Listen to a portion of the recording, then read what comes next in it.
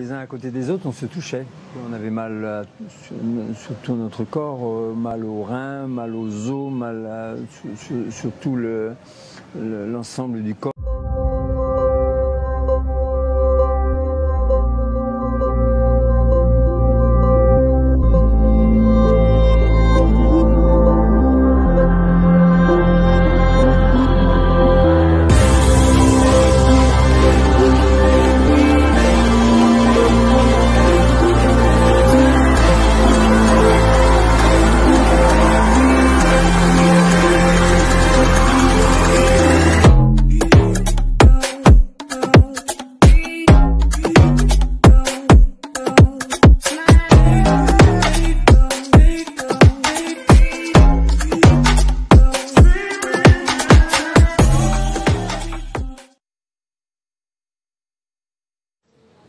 C'est la maison des missionnaires de Saint-Jacques au cœur de Port-au-Prince.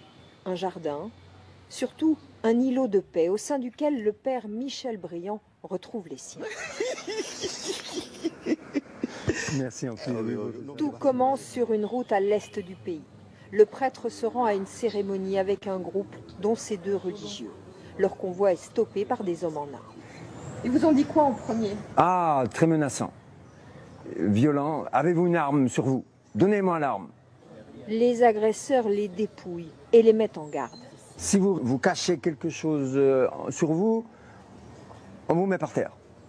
Par terre? Ah ben, on vous tue. Et bon, on s'est dit, ça y est, euh, on est kidnappés. Les kidnappeurs les voici dans l'une de leurs vidéos, un gang connu en Haïti. Leur chef réclame de l'argent pour libérer le groupe. Les otages sont changés d'endroit plusieurs fois, détenus les derniers jours à 10 dans une pièce. On était allongés sur le dos les uns à côté des autres, on se touchait.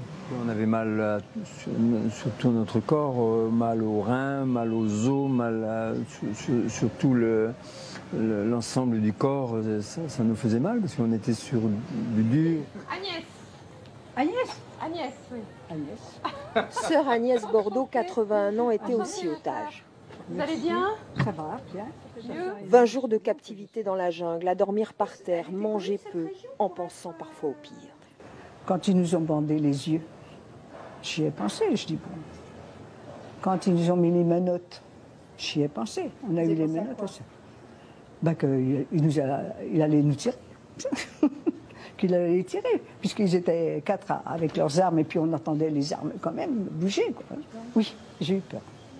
Sœur Agnès est depuis deux ans en Haïti, pays rongé par les kidnappings. Au moins 20 par semaine, cette fois, c'était son tour. Et je l'ai vécu en me disant, c'est ça qu'ils vivent. Et, et bon, eh ben, je ressens dans mon corps, hein, dans mon cœur, tout ce que vivent ces gens qui sont kidnappés. Au nom du Père et du Fils. et Le du père Michel vit depuis 36 ans en Haïti. Il a parlé en créole à ses gardiens. Libre, il leur offre son pardon chrétien. Aimer son ennemi, c'est pas cautionner le mal qu'il fait. Aimer son ennemi, c'est de vouloir que Dieu le transforme et le change. Et pour ça, vous lui pardonnez? Oui, je le pardonne. Quelle rançon a été versée? Les religieux disent ne pas savoir. Libre, aucun d'entre eux n'est retourné encore marcher dans les rues de Port-au-Prince.